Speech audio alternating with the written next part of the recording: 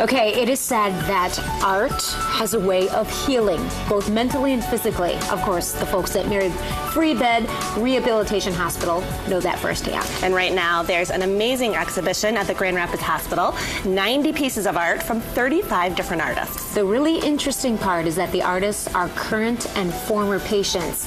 Let's head inside to check it out. On the walls of this hallway at Mary Free Bed Rehabilitation Hospital is a very special arts exhibition, and the artists themselves very unique. We are talking with Sue Steckety of the Mary Free Bed Guild, and Sue, this is really special. It is special. This is our 30th annual uh, art exhibition here at Mary Free Bed. There are 35 artists who all have physical disabilities and are displaying their works from now until the end of the summer. Many of them have been patients here at Mary Free Bed. Yes, they have. What are the different types of mediums used?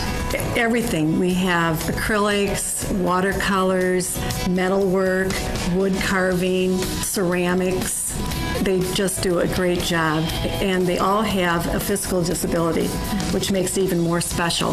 Why don't you tell us about some of the artists that are displaying their works here? Well, right behind us we have Old Blue. And Old Blue was constructed by Lane Cooper. And he does metal work. He goes and he finds scraps of metal and puts them together and makes these beautiful sculptures. The Guild has purchased this one, so people will be able to see him in our atrium from now when they come to Mary Free Bed. Lane had a uh, closed head injury in 2003, and he was a mechanic from Alticor.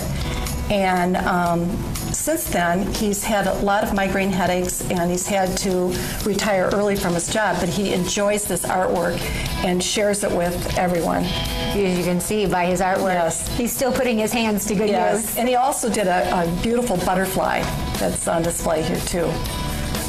So it seems in the case of Lane and others that the artwork is actually part of their therapy. Yes, it is. Many um, occupational therapists encourage our patients to use artwork as a way to increase their motor skills, but also as an interest in something they can do in their free time and bring joy back to their lives. And this right here, this is just beautiful. It is. This is done by Jason Routley. He was in a four wheel accident, became a paraplegic, and uses art as a way to express himself. This is really cool. So how is he able to do that? He actually had trouble holding a, a paintbrush or a um, pencil in his hand, so his art teacher made a mold of his hand, and then they got someone to make a rosewood tool that would hold the paintbrush and the pencil in his hand so that he could do this beautiful artwork. So, so a lot of these artists have had to use adaptive equipment, but they still can um, do the artwork. Some even, you know, use a paintbrush in their mouths. They're all so beautiful. That's pretty incredible. So can we buy these pieces Yes, of art? yes, you may. And there are many pieces here that are for sale. There are a few that have been bought by the Guild already that will be displayed in the hospital. All the artwork in the hospital has been purchased at these annual art exhibitions. So this one here um, has been purchased by the Guild and will be in one of the hallways here at Mary Free Bed. But these two are for sale. Autumn Bliss and 68 Charger. That's awesome. And so, an exhibition you don't want to miss here at Mary Free Bed Rehabilitation Hospital.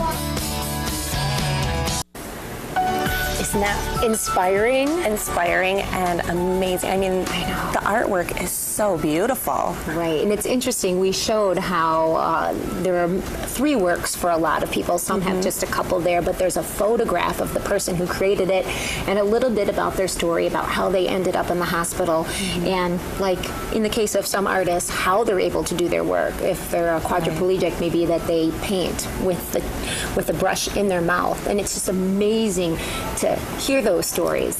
And the exhibition at Mary Free Bed actually runs through September 4th. You can see the artwork between 10 a.m. and 4 p.m. Monday through Friday every week. So beautiful.